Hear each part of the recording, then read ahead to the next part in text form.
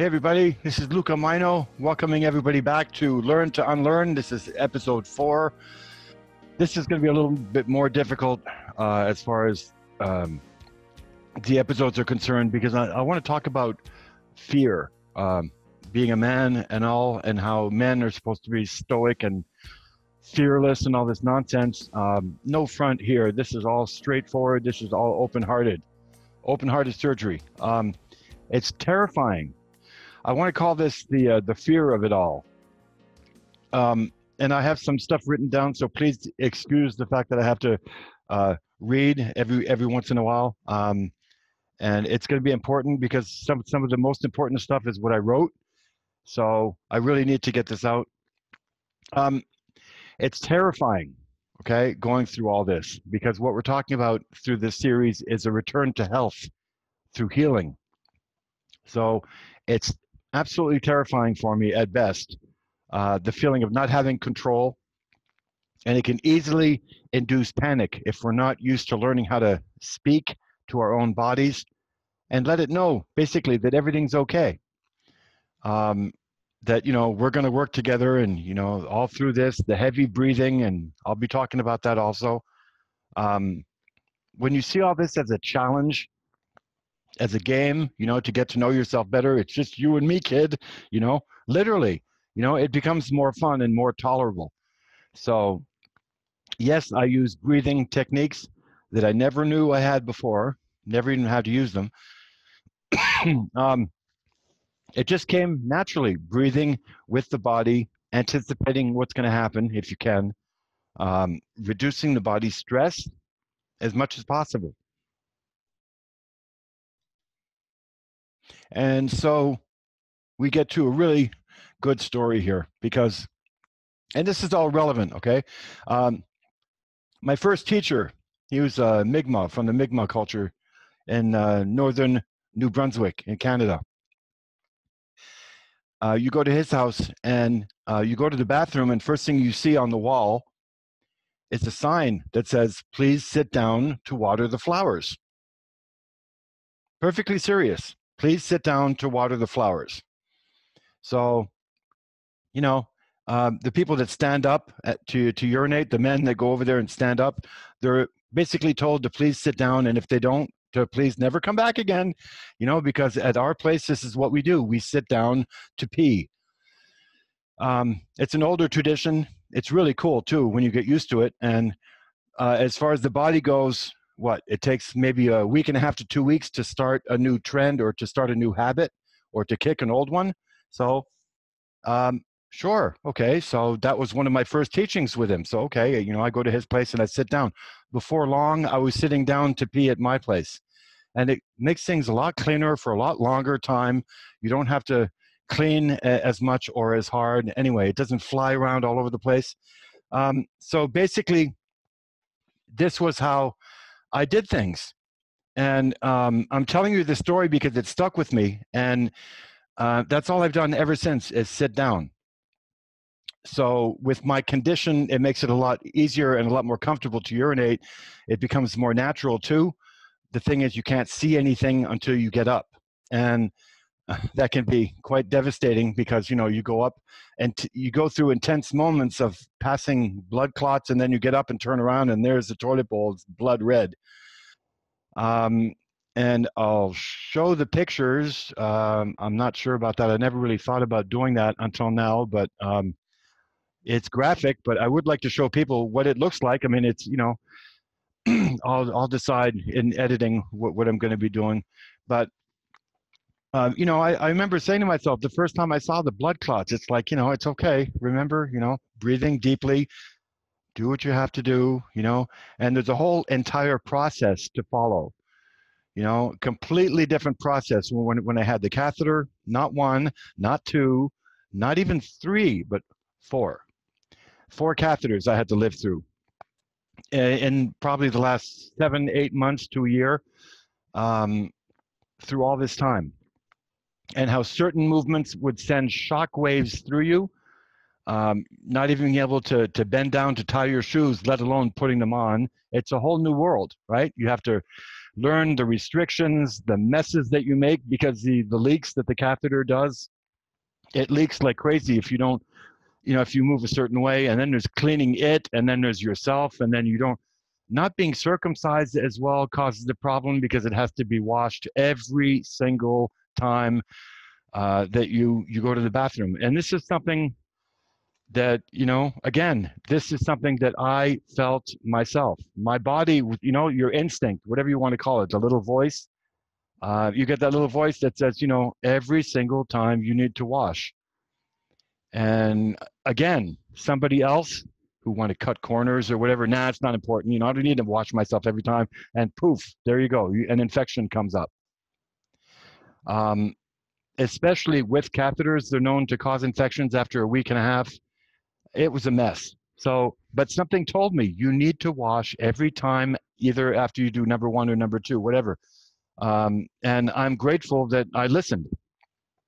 After a while of following those patterns and doing what your body tells you to do, not this, but what your body says and needs, and not arguing with it, magic starts to occur. And you get better. You will get better your body is always trying to heal itself. And this is something that a, Native American or a spiritual person will tell you. Your body is always trying to heal itself. He says the problem, uh, my teacher anyway, said the problem is we just don't let it, we don't allow it. Um, from those who don't have a clue about what we're talking about to those who do but want to take the easy way, uh, to those like me who have learned to, you know, no, I'm not going to take the hard road again. No, that's enough hard roads for a while. I'm going to sit down, I'm going to do the math, and I'm going to wise up. Um, listening to the body is so crucial, especially at that time of stress and anguish. Um, when you learn to to back off and to let your body decide, you know, for itself, and you throw your arms up, and it's like, okay, you know, it's hard at first, but then slowly uh, being dedicated to follow that way of thinking and your, your body thanks you and shows how appreciative it is. Um, i'll give you an example you know you, are sitting down and you have the catheter inserted and it's like you know oh uh, i want a coffee. Uh, and your instinct says uh, luca that might not be a good time to no i'm going to get a coffee and to heck with it. So you force your way upright hurting yourself as you try and, and, and get up, swearing the whole time, I'm going to get the coffee in my body. What happens? Your body rejects it completely because it strains the urinary tract at the best of times and it's not what you need at the present time. And then complications arise, just like we talked about that infection that woof, showed up. Same thing here. Complications arise because you're not listening. Catch my drift? Um, rather than wanting a coffee, then sitting down and listening, what does my body think? And all of a sudden you're going to hear, no way, Jose, not at the present time. No coffee, thanks. We're stressed out enough down here, thank you. Are you kidding me?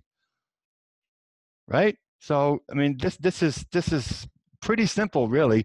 It's a matter of, of choice that we have, choice that we have to take. And for me, it was pretty easy to figure out. The La-Z-Boy became my best friend for weeks, if not months. I kid you not, months on end, weeks on end. People would come over and visit me and see me sitting down like I'm paralyzed or something. Just like, or eh, same thing as if you were in the hospital and you can't move and you have the nurse coming in to check on you all the time. Same thing.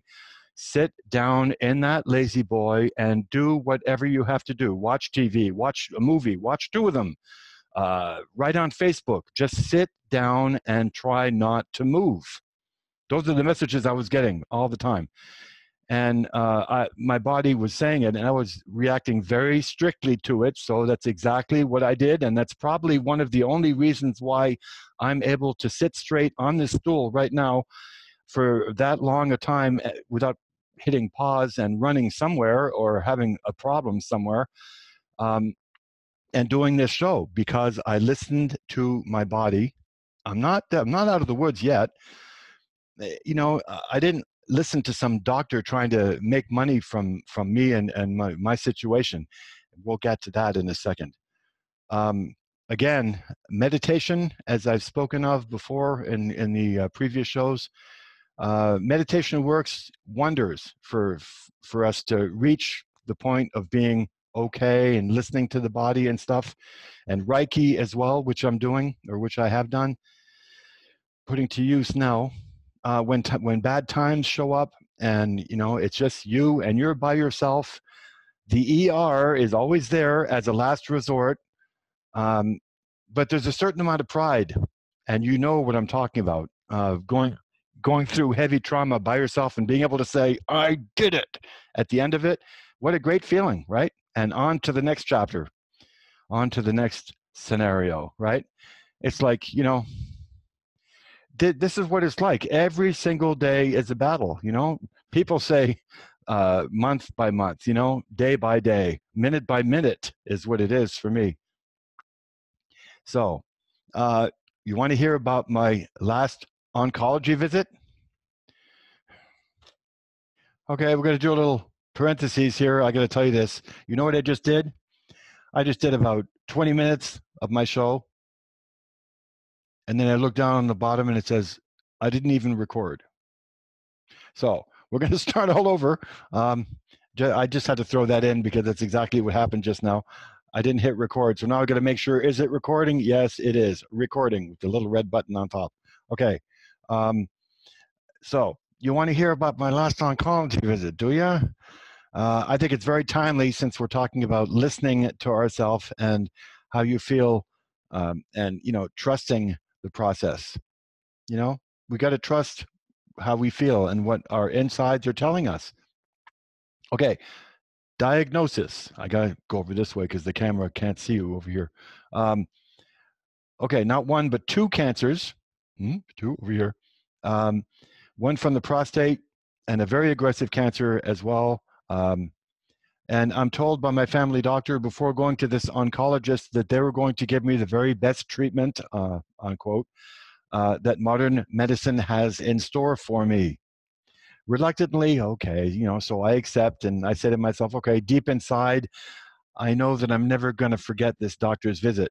And I know deep inside that I'm not going to take the chemo and the radiation that they're going to be offering me, but I'm blowing the story. So I'll, I'll, I'll keep going. Um,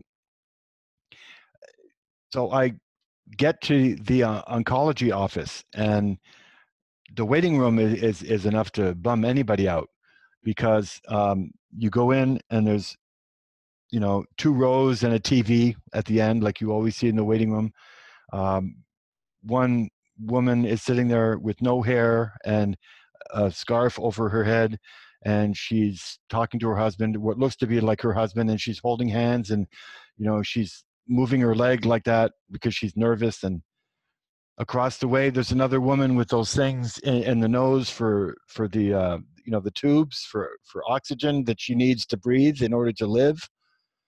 And you know on top of the tv there's a sign that says faith. Hmm so when it comes to be my turn um, i go in and in comes this gentleman. He looks like he could have been off the plane from either madagascar or or pakistan. He didn't he couldn't even hardly speak a word of english. He says to me um, you know, he he greets me, and you know, we we do the um, nonsense stuff, you know, the general stuff, the BS stuff, and, and then he explains to me gently, and he's really trying to find his words. It looks like he was really trying to be careful about what he was saying. He says, um, uh, "This is modern medicine, Luca. Uh, this is the only thing we know how to do uh, for your condition. So."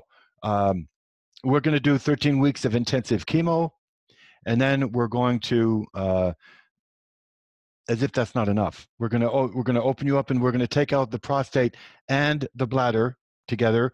And then from that we formulate or we you know we we make a uh, makeshift bladder that goes back in where, where the where the ancient where the other bladder was. And then you know they send you home with a catheter and you know figure it out. I looked at him and you know to be polite you reiterate what the person says so they know you're listening, right? Uh, so I said to him, okay, this is modern medicine and this is the only way you know how to do things. You're giving me 13 weeks of intensive chemo, and if that's not enough, and I did say it, uh, you're going to go in there and take my bladder and my prostate out. and then make a bladder for me, or even put uh, plastic or whatever they are, those bags outside of you, um, surgically, you know, with, the tubes coming out, and then send you home with a catheter and work it out. If the chemo doesn't kill you first, a byproduct of mustard gas, these are all eugenics tools to depopulate people. They don't care about us one bit. And if they did, they wouldn't be poisoning the air, the soil, the food, the water. Um, and if you count the poisons that we have, anyway, that's that's another show. No, it's not because that's in my notes right here.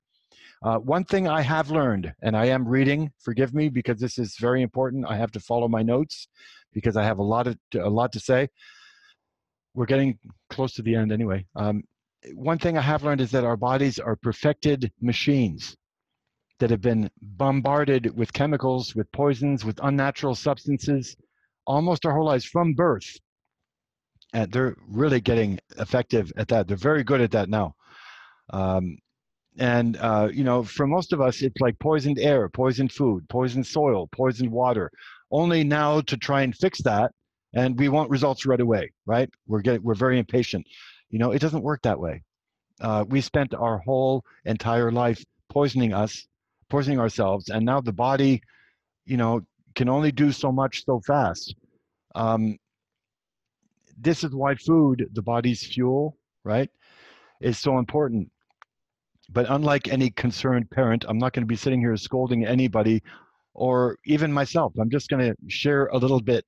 Uh, and this portion of the show is going to be called The Food Fight for a very good reason. And am I still recording? Yes, I am. Okay, good. Uh, this is very important.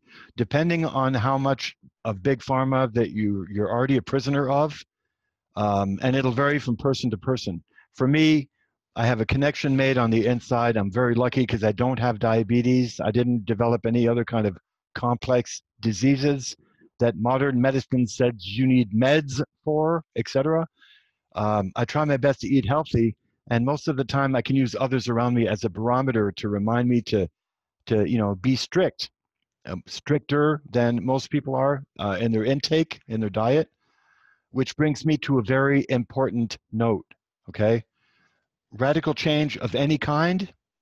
It's like they told me in the beginning of my spiritual walk. You know, you want to learn really, really quick, and you don't want to work you don't want to work, and you don't want to take your time well, guess what? Radical change of any kind, it's not favorable because, and this is what I think uh, the exaggerated, the hardcore, the unnatural, and not fitting to your routine way of doing things, it can possibly do more harm than good. Um, I've heard stories about people that are diagnosed with cancer or some other serious illness, and they go home with a big garbage bag and they take their uh, you know, they open up their cupboards and they're throwing everything out in the garbage can. It's like emptying all the cupboards out, only to go on a diet that totally grosses them out, that they won't enjoy, they don't find it motivating in the least, and it won't last. So I said to myself, you know what? Better to eat normally and to train myself to eat less of the stuff that I know I'm not supposed to eat because I'm a lover of pasta, bread, cheese, bacon. You know, this is you know, it, it's all relevant. So um, instead of saying never again, which is what people say to drugs, right? You know, never again. Um, you don't say never again. So you know what? Instead of saying never again, which is the automatic reaction that most people will have, never again, you say not today or not now. You know, instead of saying never again, it makes a big difference because never again is final. It's, you know, you have to discipline yourself for it and it's not going to work. Not today. Nah, not right now.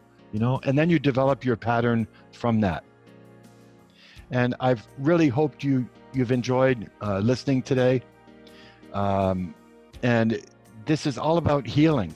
This is all about the ad lib thing, you know, because yes, I do have notes to read, but I don't want to be reading like this and have people think that I'm, you know, I can't do that. So what I'm trying to do is both. And I'd like to apologize again because my reading is not exactly the way uh, somebody like a, a normal reporter would, would be reading or somebody of that nature. But um, it's, it's something I'm doing because um, I've been scared to read. I've been like a little kid, terrified of reading because I've been told I can't read my whole life. So this is a skeleton of the, in the closet that I'm uh, dealing with at the same time as I'm doing a show for whoever is interested to help in the healing process. And I hope um, people give comments as well and enjoy the show and tell me how I can make it better.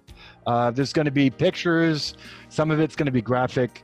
Um, it's going to be a, a, good journey. I can feel it because um, I'm already working on show number five. So we'll see you next week, and thanks for listening.